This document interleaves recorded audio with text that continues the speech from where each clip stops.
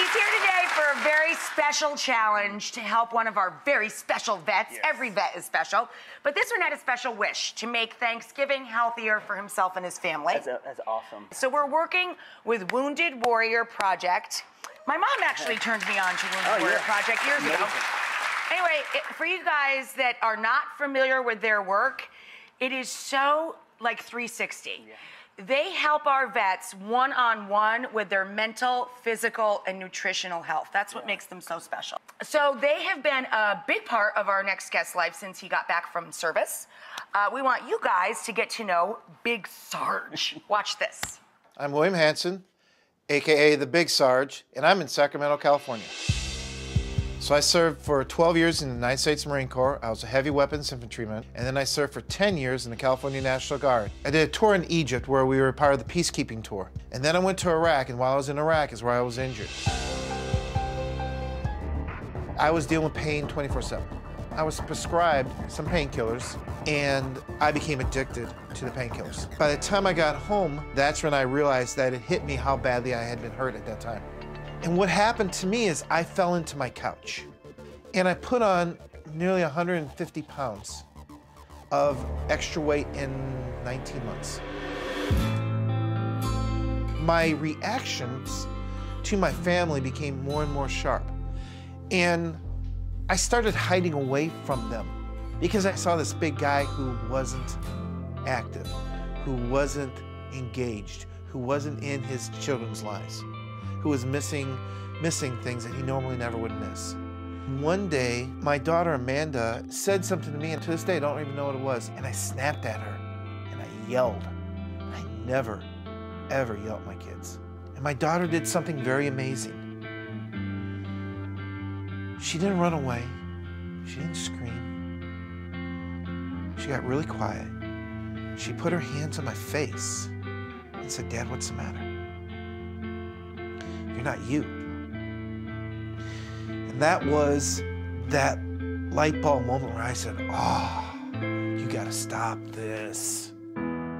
I threw out the pills and I called Wounded Warrior Project.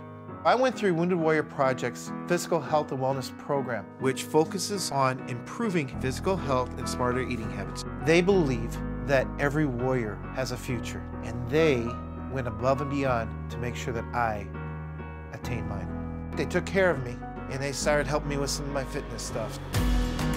I started doing CrossFit, and I started doing some strongman events, and I started lifting weights again. And I, my, my weight slowly but surely started coming down. And eventually, I became a certified trainer.